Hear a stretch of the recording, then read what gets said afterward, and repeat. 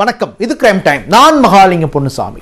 ஈரோட்டில் தேர்தல் பரப்புரையின் போது நாம் தமிழர் கட்சியினரும் திமுக கட்சியினரும் மோதிக்கொண்ட விவகாரம் அரசியல் தளத்தில் பரபரப்பை ஏற்படுத்தி இருக்கிறது.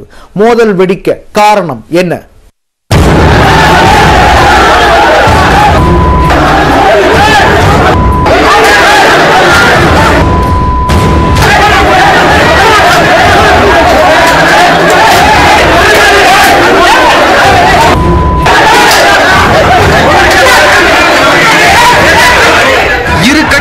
மோதிக்கொண்ட நிலையில் நாம் தமிழர் கட்சியை சேர்ந்தவர்களை மட்டும் கைது செய்திருப்பதாக போலீசார் மீது குற்றச்சாட்டு எழுந்துள்ளது.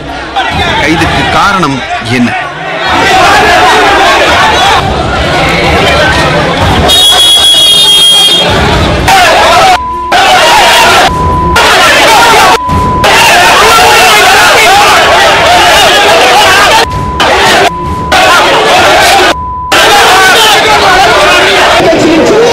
ஈரோடு கிழக்கு தொகுதி இடைத்தேர்தல் வருகின்ற இருபத்தி ஏழாம் தேதி நடைபெற இருக்கிறது.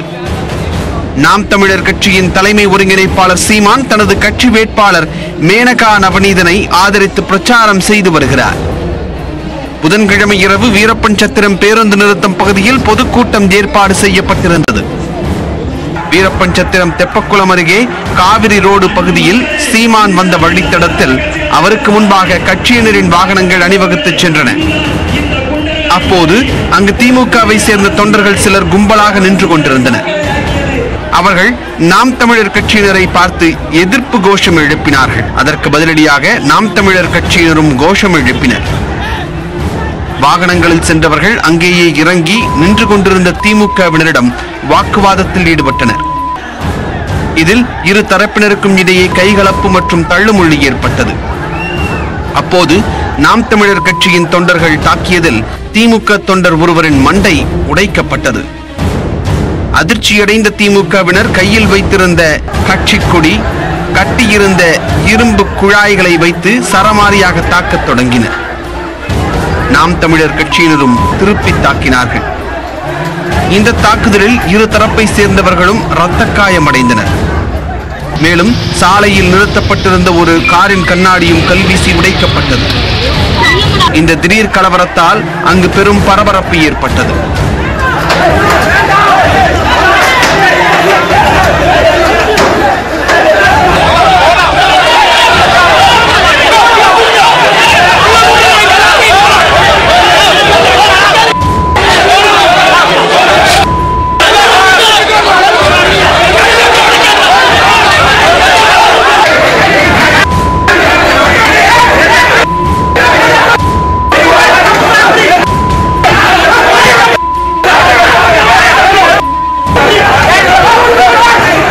கண்டறிந்து பாதுகாப்பு பணியில் ஈடுபட்டிருந்த போலீசார் விரைந்து வந்தனர்.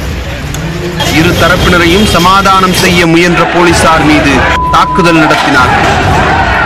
போலீசார் சம்பவ இடத்தில் அதிக அளவில் குவிந்ததைத் தொடர்ந்து மோதல் போக்கை இரு தரப்பினரும் கைவிட்டனர். தாக்குதல் குறைந்தாலும் வாக்குவாதம் தொடர்ந்தது. இந்த சம்பவம் நடந்து கொண்டிருந்த போதே சீமான் வேட்பாளர் மேனகா நவநீதன் ஆகியோர் திறந்த ஜீப்பில் பிரச்சாரம் செய்து கொண்டே வந்தனர்.